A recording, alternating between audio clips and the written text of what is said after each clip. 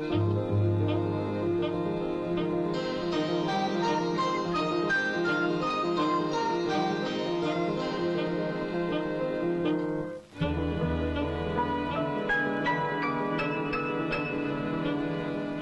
era el otoño. Era un invierno adelantado que había irrumpido con la rudeza de sus ciertos fríos, el que pronto agarrotó a mi planta madre Siendo diseminadas sus semillas acá y allá.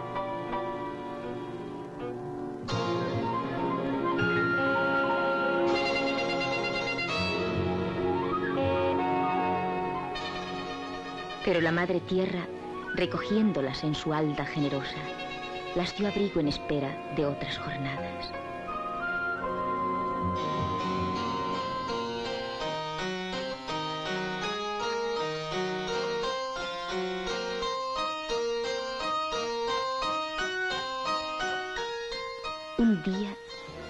Seno de mi semilla, empezó a desperezarse mi nuevo ser y sin cesar en su empuje, ascendió a la frontera de la luz. Era la primavera, explosión incontenible de luces y aromas que se apoderaba de todo.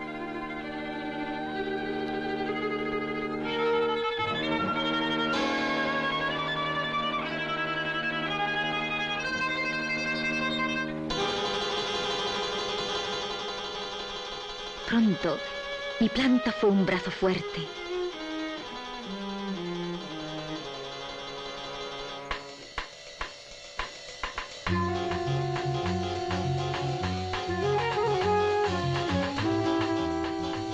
Y al final de este tallo joven me abrillo la flor, como una mano prodigiosa de múltiples dedos.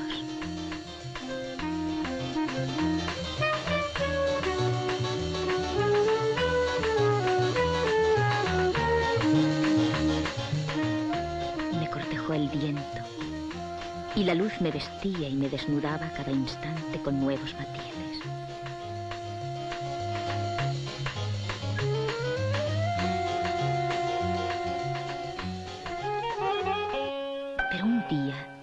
llegó un insecto nuevo, distinto.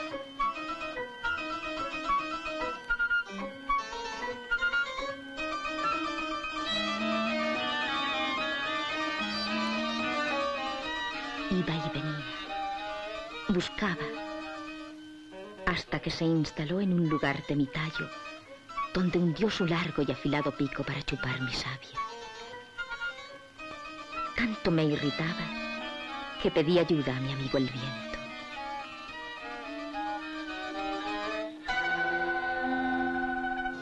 El buen viento vino veloz.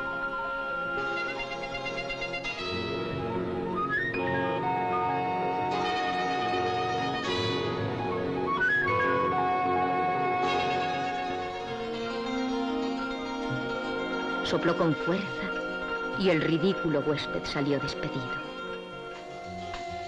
Volví a gozar de la vida, de las horas del sol ardiente y de la sombra que arropa y sosiega. Pero yo no era la misma flor de antes. Aquel molesto visitante había sembrado en mi tallo su pérfida semilla y me sentía acribillada por centenares de aguijones que me laceraban chupando con ansia mi savia. Aquellos pulgones engordaban a ojos vistas convirtiéndose por instantes en adultos, y estos, sin ayuda de machos, sembraban sin cesar nuevas crías, multiplicándose de manera increíble. Cuando más dolorida estaba, víctima de mis voraces invasores, llegó una hormiga exploradora.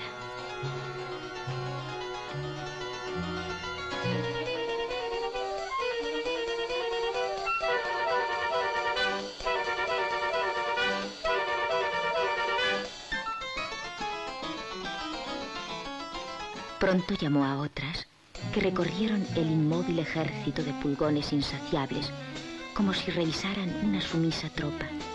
Más que tropa parecían rebaño del que se beneficiaban. De vez en vez los acariciaban y chupaban con delectación las dulces gotitas que los pulgones segregaban por unos tubitos traseros como extrañas ubres.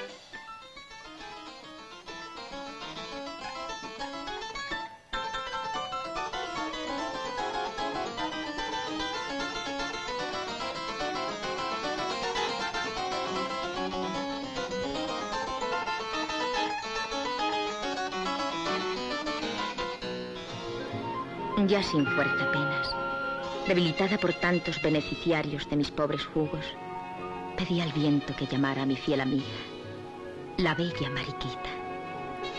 La buscó por los montes, por los valles, y vino a hallarla con su numerosa familia en la Rosaleda.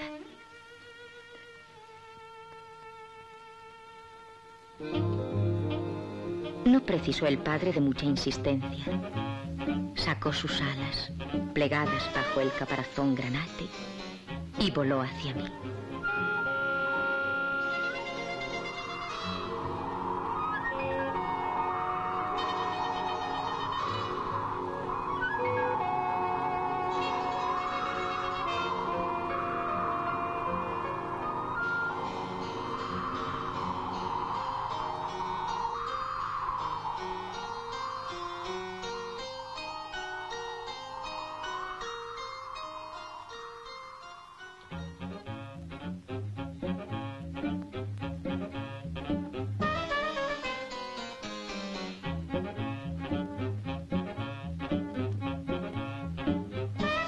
Al llegar, sin apenas reconocer el campo de batalla, inició la lucha.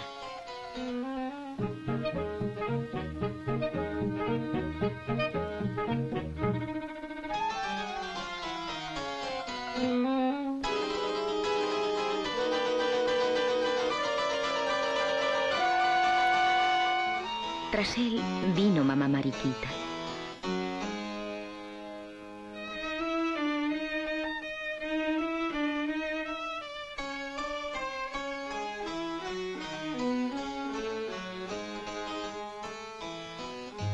Estaba encomendada otra labor más decisiva. Fue sembrando huevos por todas partes.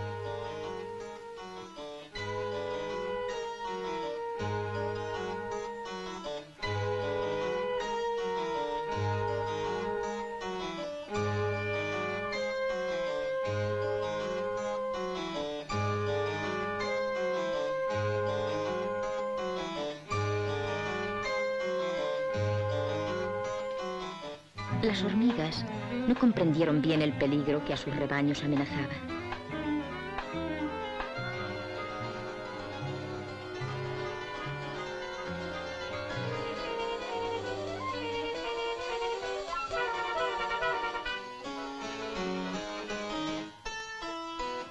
De cada huevo nació una larva.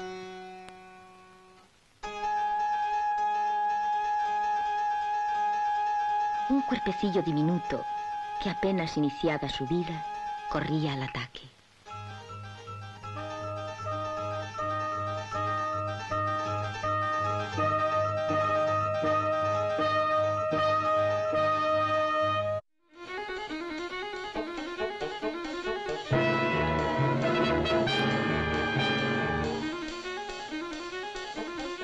Pero la realidad de los pulgones destruidos por los nuevos seres les hizo cambiar de actitud y se generalizó la batalla. Larvas contra pulgones, hormigas contra mariquitas. Cada una de las mariquitas era como un bello carro de guerra, insensible a las tenazas de las hormigas.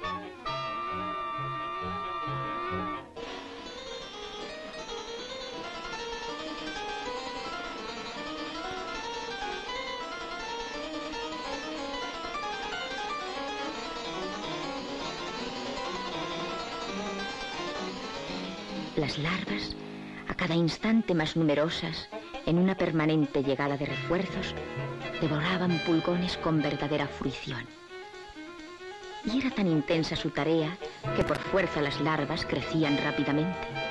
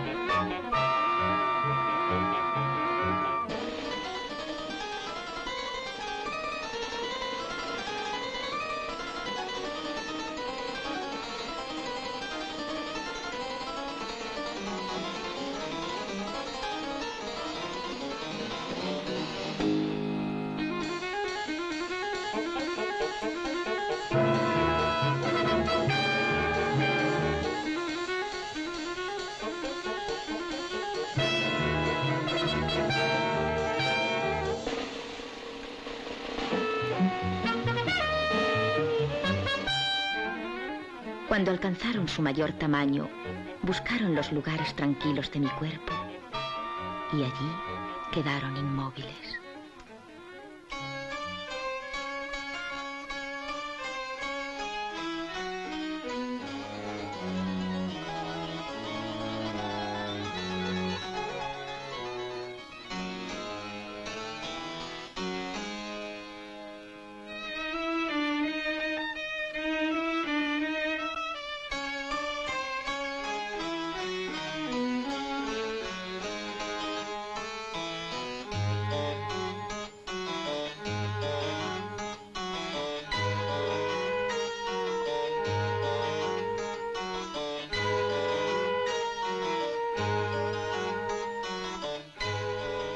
Llegué a temer por mi defensa, pero muy pronto advertí el fenómeno que se estaba produciendo.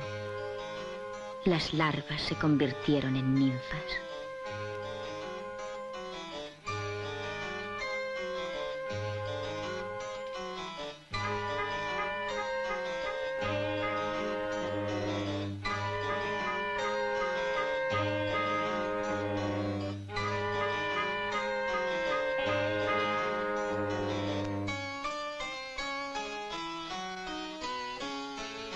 Todas mis hojas sirvieron de sede a esta transformación que había de traer en un bello proceso de forma y color las nuevas mariquitas.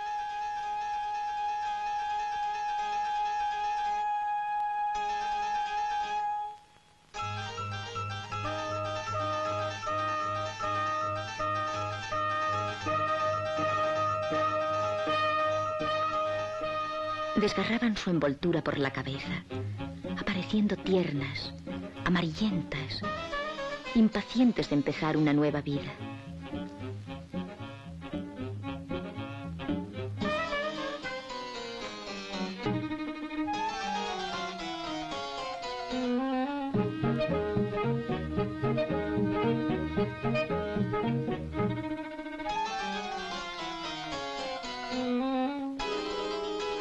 La luz las bautizaba transformando mágicamente su color.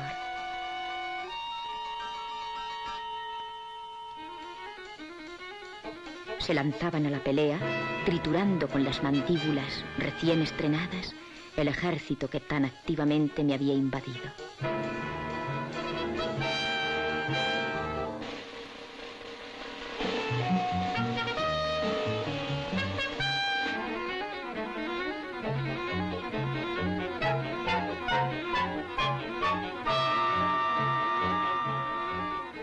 Las hormigas, en desesperado intento, lograban inmovilizar algún bello tanque rojo que se replegaba bajo sus duros élitros y en vano sus enemigos buscaban fisuras por donde atenazarlas.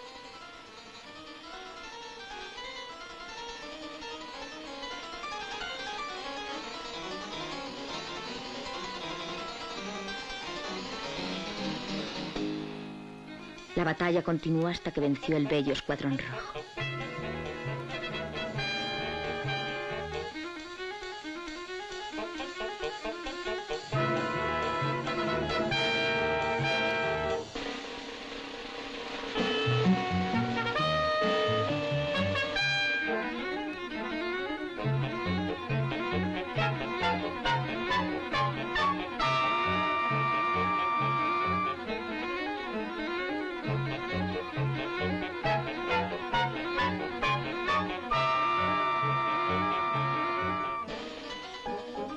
Cuando no quedó un solo pulgón para contarlo, una a una subieron hasta mí. Y desde la pista de mis pétalos se lanzaron al viento. A la busca de nuevos campos de lucha, infatigables en su generosa labor.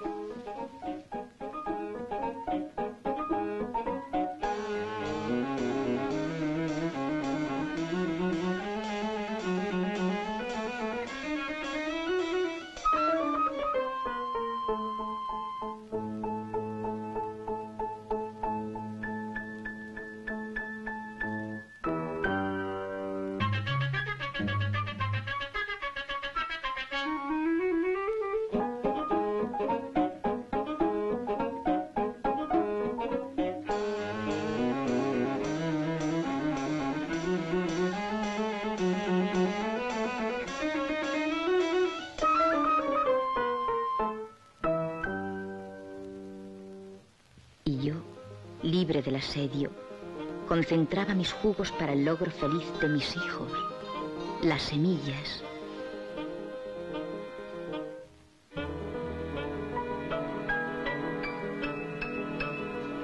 que guardadoras del secreto de la vida se dispersaron para iniciar un nuevo ciclo.